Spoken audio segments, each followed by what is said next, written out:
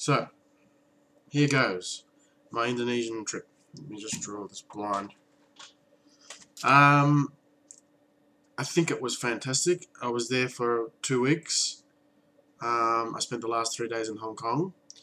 Um, the two weeks in Indonesia consisted of the first week was mainly in Java, Javanese areas, and Balinese, and Bali was the second week. Um, I wanted to see as many different things as I could, um, and I don't know my way around, so I had a guide in the first week, which was excellent, excellent, excellent, because I was able, she was very culturally she knew a lot about her own country and the history and the culture. She was Muslim. Um, she knew a lot about Islamic history in Indonesia and also a lot about Hindu history, a, a lot, and Buddhism as well. She knew a lot and she knew where to go and she would take me to these places.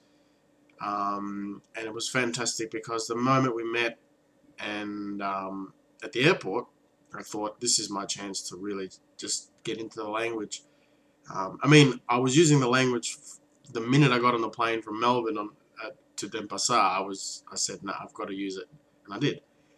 And once I did that, it, it was it's a confidence thing because I've never used it, so it got easier. And we met, and then I just started to speak, and she says, "Wow, you know, you can speak Indonesian." I'm sure most people she takes around don't take an interest doesn't don't take an interest in the language. Um, so that was great. Um, and I was able to introduce myself and say, yeah, quite a few things clearly and coher coherently, I think, considering it was the first time I uh, did it.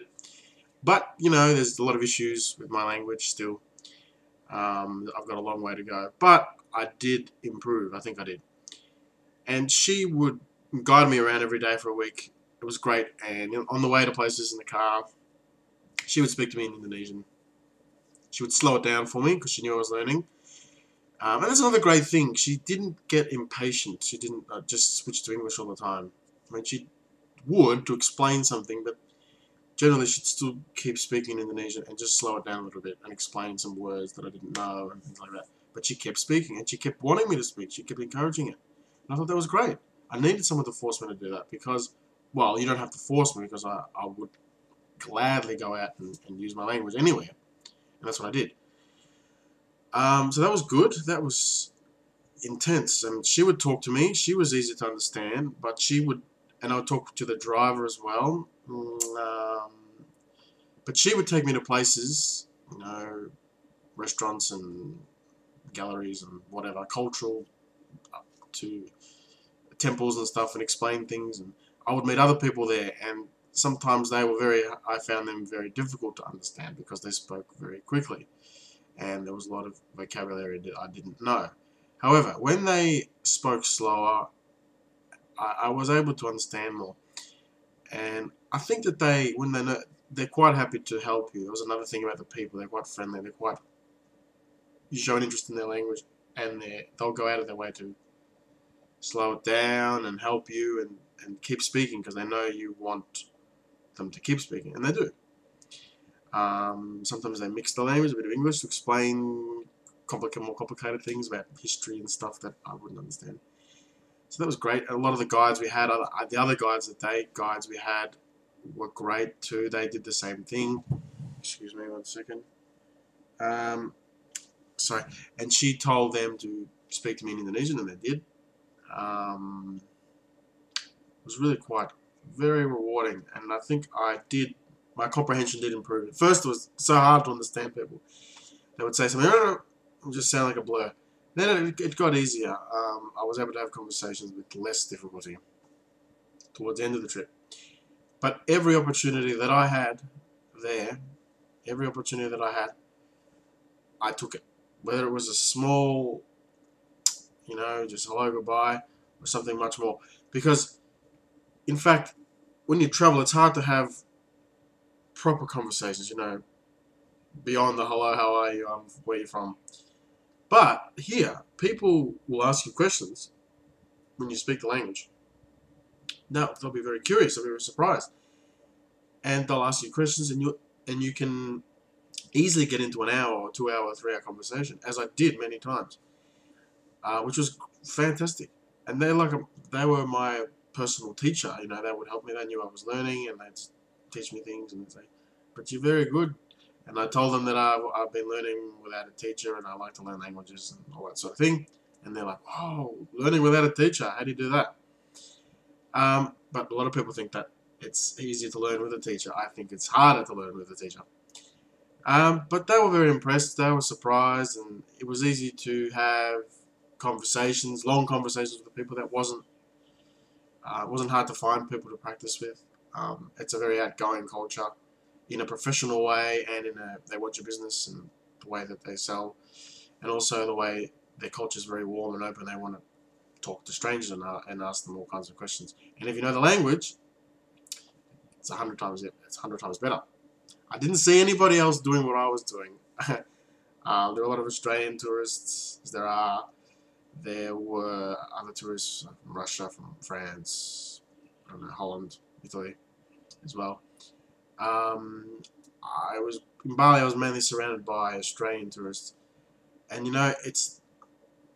I know I'm, you know, whipping a dead horse here, but it's the same thing. I don't see anybody making any effort or attempt to learn even the most basic things in the language. I, I just I never see it, um, and I can't understand why it's uh, you're going to a, a, new country. Yeah, sure, they'll speak English. They do, but it's respectful to learn some phrases and things like that.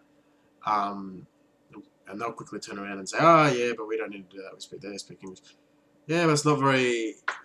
It's not a good reflection of their mentality. They're not very open-minded. And I saw so many people doing this, and no one, and they even talk to them as if they were talking to another native Australian speaker. I mean, it, slow it down a bit, you know um, done it because it's not their first language. Uh, I saw this happen a lot, and I sort of a bit disappointed. You know, um, it's not a hard language to pick up. At least the basics. It's not hard. It's not hard to pronounce. Um, I'm not talking about being proficient. That's a different story. But learning the basics in Indonesian is definitely not difficult, and it's very rewarding if you do it. It's very rewarding. Um, you know, you can introduce yourself, you can say good morning, you can say how are you, blah blah blah, where are you going, I'm going here, I'm married or whatever. You can talk a little bit about yourself. Um, basic things, not, I'm not talking about high levels of fluency here, I'm talking about basic words and phrases. Um, and I never hear anybody, anybody um, doing that. So I kind of felt like I was, was odd but but very good too. It was a good feeling that I was I was I was doing what other people wouldn't do. And people may you know look at you strangely or hear something that's strange, you know. But I think they're the strange ones. they think I'm strange, but I think they're a bit weird. But that's my opinion. Um, yeah, that's my way of looking at it. Um, since so many people go to Indonesia for a holiday, I think it's would make your holiday, your holiday is good, but it'd make it a lot better if you were to learn some of the language. I know for me that I can't personally go to a country if I don't know anything about the language, even if they do speak English there. I don't feel comfortable. I don't feel. I feel a little bit alienated. I, if I haven't learned some of the language before I go, if I haven't spent three months or six months or whatever before, prior to my holiday, then I've and I haven't made any effort, I feel quite yeah, I'm not as eager to participate in that society. I'm not as eager to do things. I'm less motivated. But I'm extremely motivated if I have some language behind me, even if it is bad, even if my level is not very good. But if I can have some sorts of some sort of conversation, then that's a good start when you go to the country, and then you you can improve while you're there. Um, I was only there for two weeks. I mean, it's not a huge amount of time. I should have stayed longer. Um, but I think my language was improving. I was learning vocab. It was so much easier to learn vocab because it was it was there. If someone would teach it to me, my guide would teach me or whatever, I'd see it. Then, you know, a few minutes later or a day later, I'd, I'd guaranteed I'd hear it. Or someone would say it or I'd see it somewhere. So it's, it's not something you're studying. It's something that you're living and breathing. Um, so I think it helps to do the hard work before you go, do some hard work, and then when you get there, um, you need to, uh, yes, you need to uh, work at it when you're there. It's best to go with something. If you go with nothing, it's going to be harder because you won't have, you won't have any of the language at all. It'll be very difficult to get someone to talk to you in that language that you can't really say anything anyway because they'll just switch to English. But if you show that you can have some sort of a conversation, a little bit even, then they will they'll speak to you in that language. So you want to do a bit of hard work before you go. Um, the hard work definitely helps. However, however, I think that the way we learn languages, we learn them through books and in a very we learn very formal sort of language, especially in Indonesia. I mean, there's a lot of variation. Um, so you really have to, yeah, do your work, but when you go, you be prepared that you're not going to understand what people are saying. You may not understand people, and that's okay, because you're not used to the way native speakers really talk.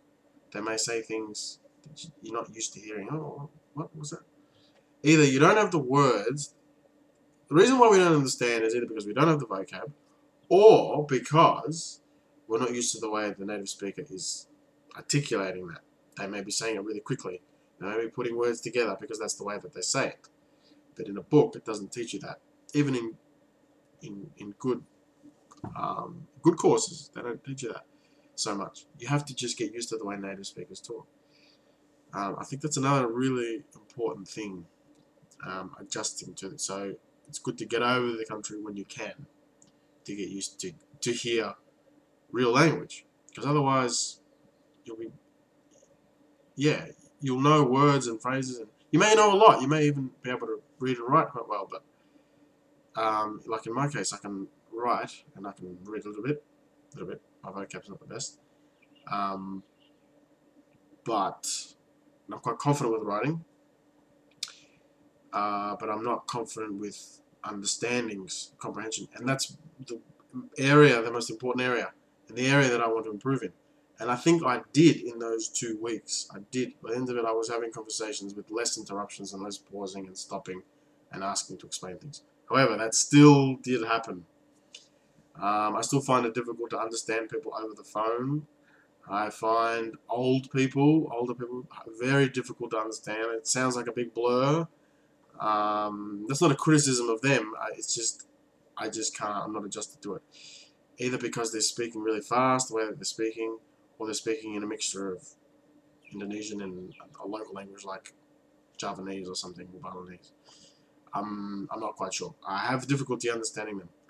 Young people I understand quite well if they don't go, if they don't race. Um, yeah. It's a great experience. Um, I succeeded. I failed. I went through with my language. I failed. I part. I you know I had many successes where I communicated. I had other other situations where I was put on the spot and I struggled.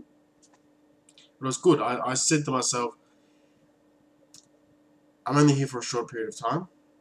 I have to put myself through the pain barrier, and if I don't understand something or if I say something wrong or whatever, it, I, I just have to accept it. You know, if, if there's a misunderstanding, I don't get what people are saying, that's okay. I'm, I'm not experienced yet. It's all part of it. And those things I think help me.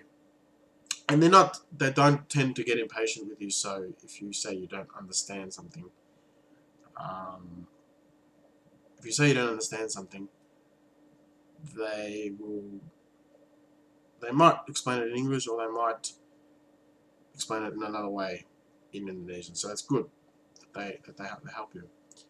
Um, yeah, that's another thing. I think people when they're learning a language are afraid to speak up and say, "I didn't quite get that. I didn't understand that." You have to do it. It is annoying though in some cultures because they might just reply, start speaking to it in English and and whatever.